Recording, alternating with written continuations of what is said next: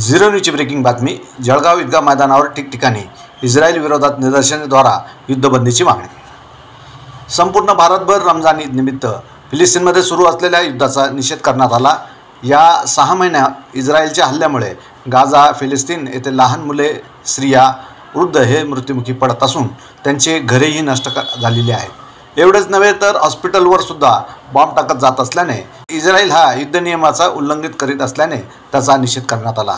इस्रायलने हे त्वरित मस्जिद ए अक्सा व पॅलेस्टाईनमधून निघून जावे अशी मागणी निदर्शनाद्वारे करण्यात आली. जळगावमध्ये सुद्धा ईद नमाज पठणानंतर विविध संघटनेचे तरुण वृद्ध महिलांनी हातात फ्री अक्सा फ्री फिलिस्तीनचे बॅनर झळकवीत निषेध नोंदवला.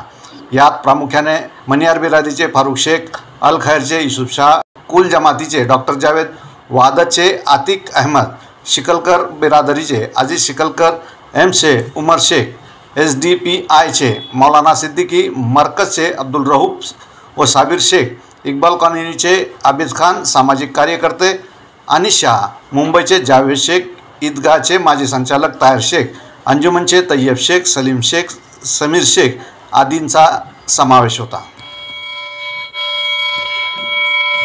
आप देख रहे हैं।